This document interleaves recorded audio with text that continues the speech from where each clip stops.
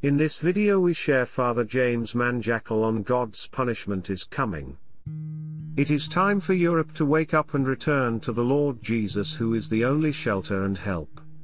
You should know that until recently, for example, Belgium and France were Catholic and Christian countries.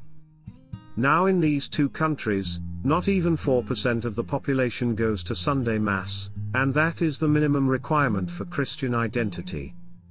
There are many unbaptized children, a large number of men and women live together outside of marriage, few people go to confession or receive other sacraments, and family prayer does not exist. It is true that the prophet Jeremiah said they have abandoned God, the source of life. Divorce, same-sex unions, abortions, euthanasia and every other form of immorality are legalized in these countries. They are like Sodom and Gomorrah. Among their inhabitants there is no fear of God or man.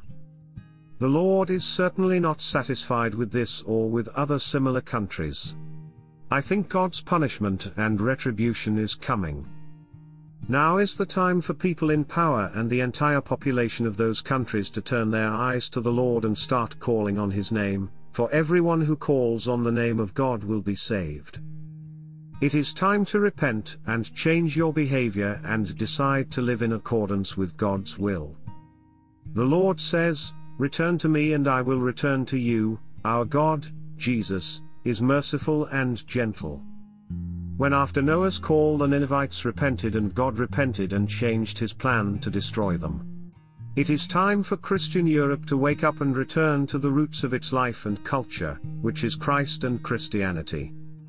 She should give up coldness, lukewarmness and indifference towards Christ and the Church, who alone have answers and solutions to today's problems.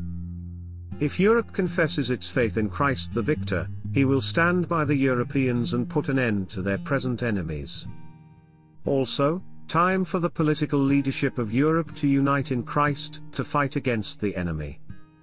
It is sad that Europe is divided, the enemy uses these divisions.